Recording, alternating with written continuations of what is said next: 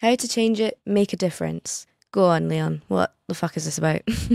so, this is a text by an organizer Josh Virasami, who's based in London. And it's a book that he's written on the label or the imprint called Merky Books. So I'm sure you've heard of Stormzy. Essentially, this is a book endorsed by Stormzy. This is Stormzy's guide on how to change the world, how to make a difference. I mean, it's not, but the label, Merky Merky Books is Stormzy's label, so he, he set up a label to kind of get books written by and for young black kids, young people in general, people in general. And this book by Josh Virasami is, is part of that series. It's a really, really cool book. It's an introduction to how to organize, how to engage in activism, how to understand the world and why it's in need of activism and in need of social change. That's why I wanted to share it with you because I think it's just a really brilliant introductory guide to all of those themes. Plus, it even taught me, someone who's been an activist for like over 15 years, it taught me loads of stuff as well about how to organize, how to change it, as the title says.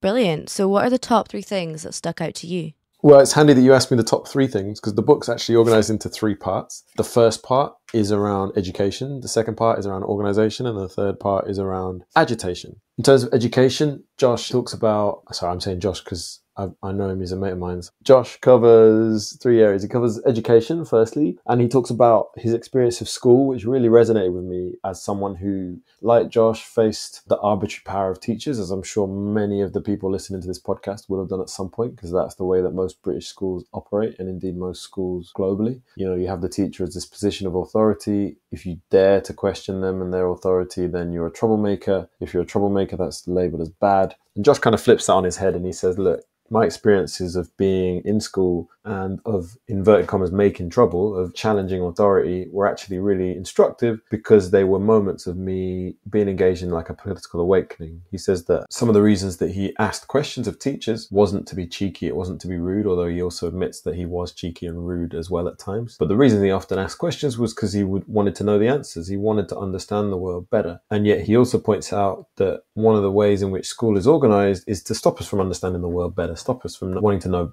more about how the world is organized and to discourage us from asking those critical questions. So that mundane like process of a teacher saying, don't talk back to me, you know, don't ask me that question. That's not just them stamping their authority on you. It's also a way in which the society that we live in gets reproduced without challenge. So people get forced into being compliant, being complacent, not challenging, not asking the hard questions. And that's not a natural state of affairs. He points out that kids growing up are innately inquisitive. They want to know and understand the world. And it's through this process of education that they get beaten down and beaten down Right. So, following on that, would you say that he's addressing education as an institution for indoctrination? Does he speak on that? And do you have any thoughts on that? Yeah, absolutely. Yeah, no, he precisely talks about education in relation to what I mean, he gets deep. I don't know how deep we want to get in our conversation. One of the things I like about the book is that he has these little sort of text boxes where he goes into some concepts in more depth. He recommends further reading. In the general text itself, it's very kind of readable, it's very light, and you can kind of just follow it without knowing too much. But for instance, here on one of the pages, he talks about ideology and he uses the concept of ideology that is, the ideas and beliefs and symbols that help to persuade people that the way that things are is the way that they should be. He talks about education's role in that process of reproducing those ideas, that ideology. So yeah, he does. I'd say, and that's to your question, he does do that. And going back to how it relates to us, to breathe, to organizing, and to activism, how would you say that the text helps in understanding how to organize to change the world?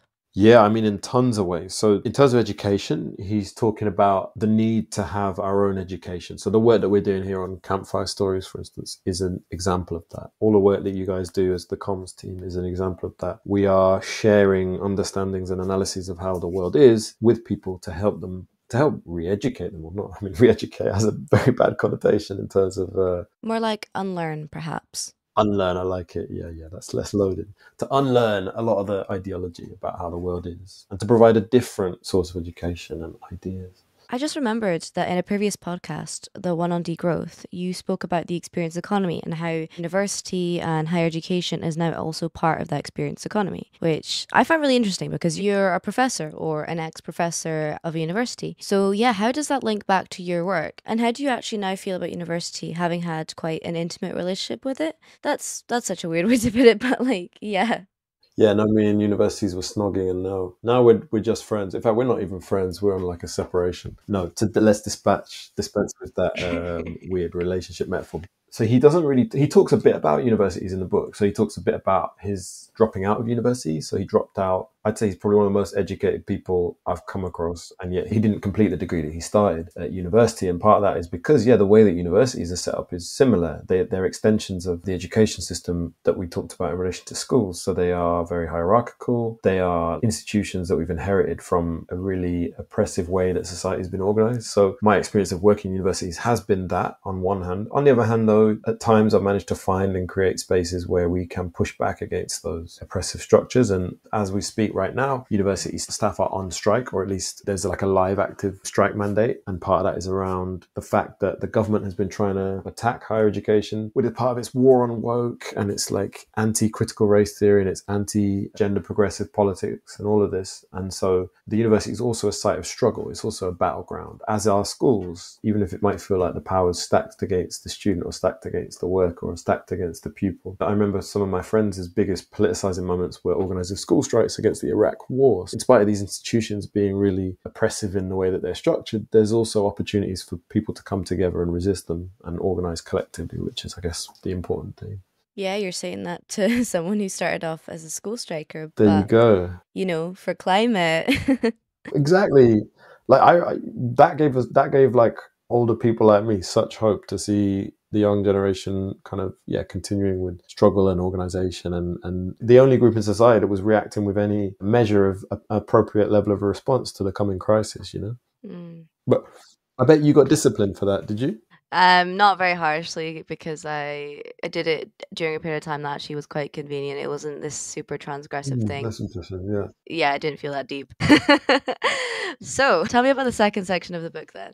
Yes. So the second section of the book is organized. He breaks it down to three subsections. So he says you have to find your people. So you have to find people who have had an educational awakening, or not necessarily even had an awakening, but people who are going to be aligned with you, who share your interests. You have to organize with them. So that means you have to come up with a strategy of how you're going to achieve the aims that you need to achieve. And you need to get strong. So you need to do that work of building the counter movements that are going to be able to challenge the oppressive structures that you're coming up against. And so there's lots of different examples he draws on of movements from across time and space he talks about the Black Panthers, who are big in the US. He talks about examples from the suffragettes. He talks about decolonial movements, you know, radical armed struggles against colonial oppression, loads of different kinds of collective action. But these things they shared in common that they needed to get together with people who had the same interests as them and they needed to form a strategy. So they needed to have a sense of how they were going to achieve their aims. And then they needed to get strong, build their power, and find a good way of organizing that strengthened their power he mentions the concept hegemony, and I, I don't want to get too much into concepts and theories, but like this idea of basically just about power, who has power and who doesn't. Like that's the most simplistic understanding of it. And yeah, the need to build a counter power. So that's what organizations for. That's why you don't just try and do these things on your own, right? If you try and do it on your own, it's easy for those who have power to just squash you.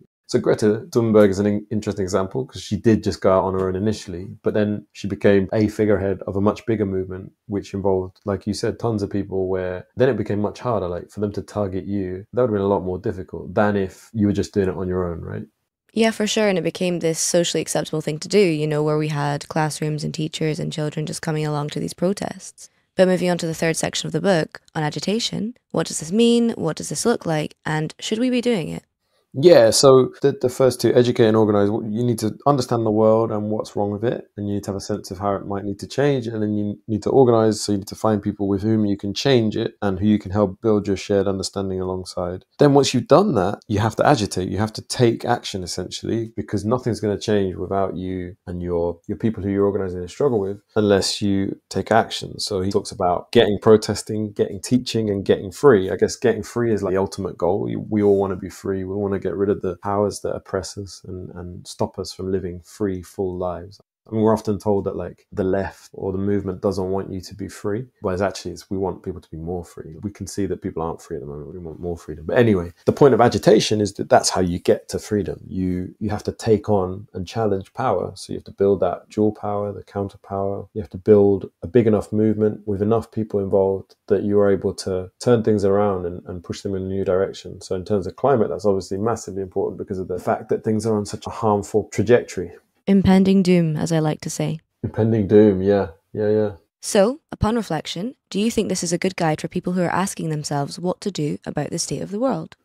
I think this is a really useful guide for people who are asking themselves what to do about the state of the world. Like I said, it's going to be especially useful for people who are just starting to think about these things or who maybe who haven't even thought about them in this way before. But for someone like me who I would consider myself to have been thinking about these things for a long time, I got a lot from it as well. And it's just a useful refresher. And there were lots of bits of information in there that I hadn't come across before, examples that I thought, oh yeah, I haven't thought about that before. I haven't known about that. There are connections to things like culture. So he makes connections to the work that rappers do or have done in popularizing critical ideas. And he, he cites lots of examples such as Tupac and Kano and Lil Simz more recently. Tupac was like, wasn't his mom a Black Panther? Or aunt? His yeah, his auntie was um, I remember it was a Black Panther. Yeah, so he, he had that I guess in his family but yeah, no. As, uh, back to your question, like it is a really important book. I think it's very small, it's readable, it's affordable, it's concise, it's really well written. To me, as a young